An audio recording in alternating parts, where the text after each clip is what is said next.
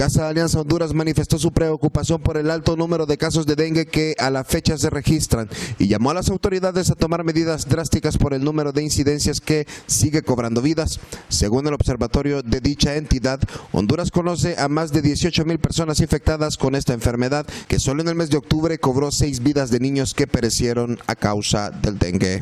Cuántas veces en las familias vemos que ellos saben que hay un síntoma de, dengue, ¿no? A una sospecha de dengue. Pero ¿qué sucede? No acuden de inmediato a los centros hospitalarios, ¿verdad? Entonces todo eso también hace que se puedan dar o se puedan producir más muertes por casos o por eh, la infección del dengue. La Secretaría de Salud reunió a todos los epidemiólogos del territorio a fin de fortalecer las herramientas que utilizan los mismos para la vigilancia de casos, además de certificar los médicos para el pronto diagnóstico de la enfermedad, con el fin de aplicar el tratamiento inmediato y salvar la vida de nuestros niños. Según los números de CESAL, son 21.987 casos acumulados los que se han contabilizado, así como 16 muertes certificadas con mayor afectación en Comayagua.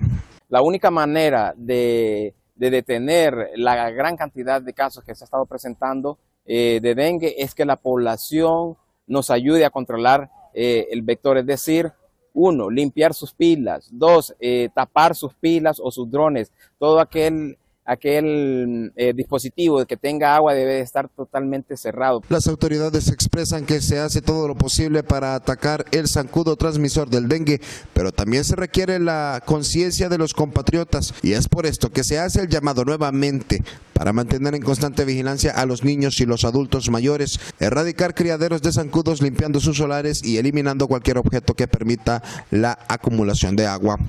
Para Canal 6 con imágenes de Oscar Rojas y bajo la edición de Milton Ortiz, les ha informado Elías Acosta.